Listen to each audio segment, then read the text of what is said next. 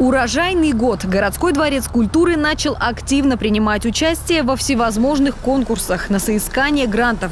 И во многом именно работа в дистанционном формате во время пандемии повлияла на новые возможности коллектива. Из всего мы извлекаем положительное. Мы научились писать, оформлять правильно, грамотно заявки. А, мы мобилизовались. Коллективы работают с большей отдачей, на мой взгляд.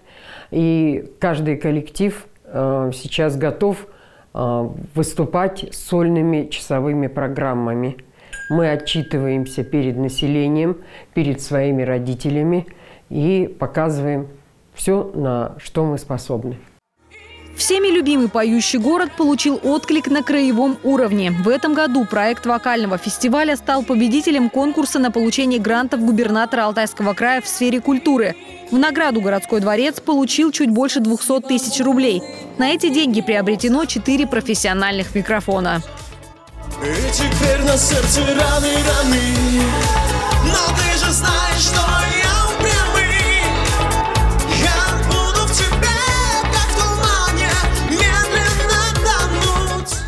Прежде всего, конечно, это дополнительное финансирование.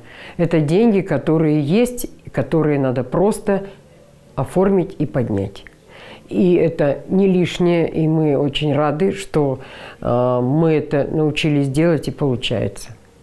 На выигранные средства городского гранта в области молодежной политики в Бийске впервые пройдет фестиваль «Фотофест». По словам организаторов, такого в нашем городе еще не было. А благодаря победе среди социально значимых проектов в области благоустройства подразделение ГДК «Дом культуры» в Фоминском получил 300 тысяч рублей. После проведенного капитального ремонта на эти деньги там появится асфальтовое покрытие.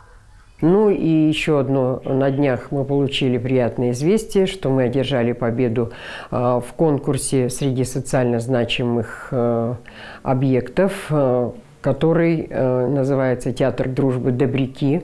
Это уровень региона.